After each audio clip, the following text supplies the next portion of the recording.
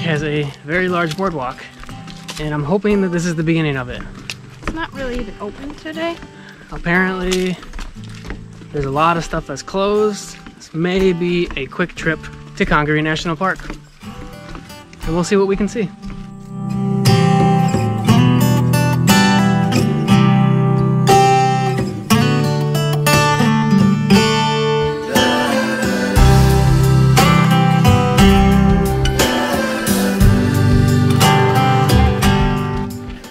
We haven't had too much problem with this anywhere else. If you come to Congaree, bring bug spray.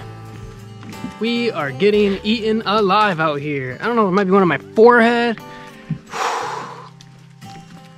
You just gotta keep moving, I guess.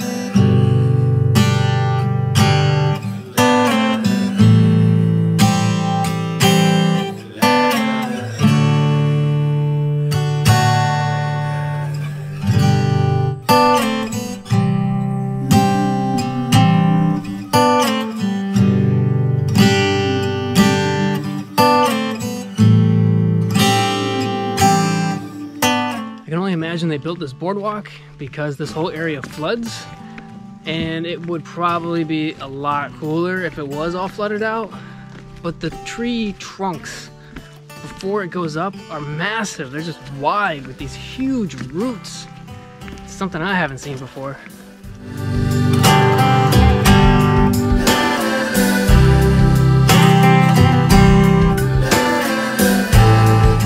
What are these things? They're like roots that are coming out of the ground, kind of like stalagmites and, and caves. I've never seen anything like this.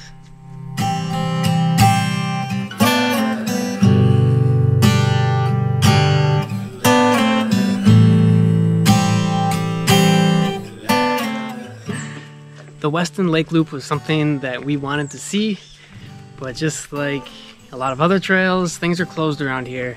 It's pretty quiet, not very lively. This is a lot more interesting than I thought it would be. There's just interesting trees and those things growing out of the ground and lizards and I don't know if I would drive very far to get here, but it's definitely worth the walk if you're around.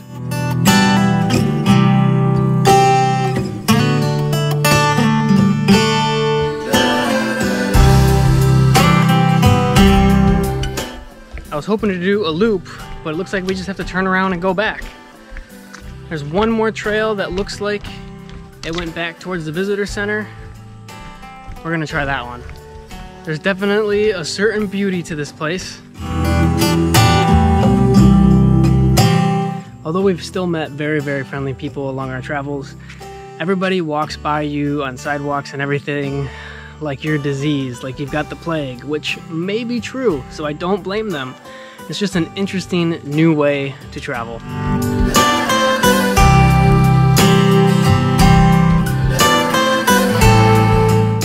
Upon further research, I learned that it was designated to save the oldest deciduous forest in the US, old growth deciduous forest.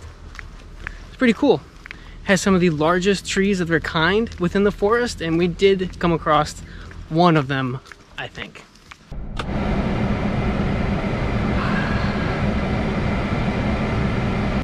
After a quick walk through Congaree National Park, we are now making our way to a boat launch that we found on freecampsites.net.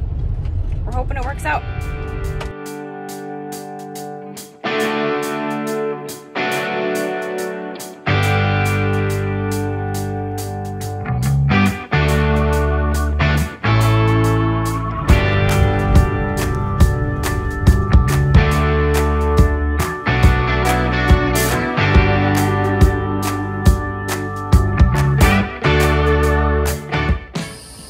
Boat launch that we plan to stay at tonight is a bit busier than we had hoped. We are, however, going to make some dinner here and then head to the nearest rest stop. Seems to be our uh, luckiest and best place. We might be able to work, plug some stuff in, use the restrooms.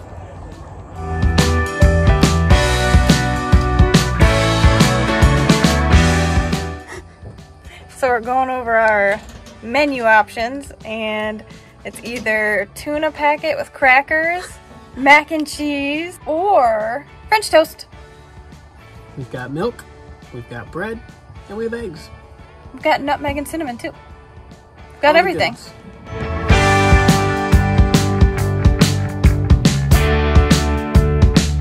Just a little bit.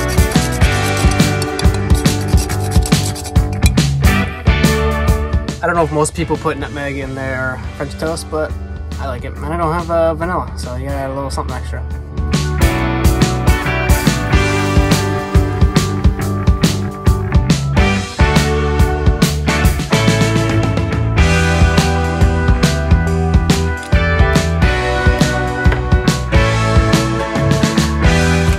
Excited about this.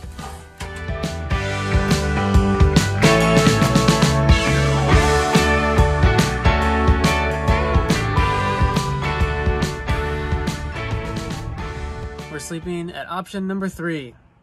First place. Oh. ah, first place.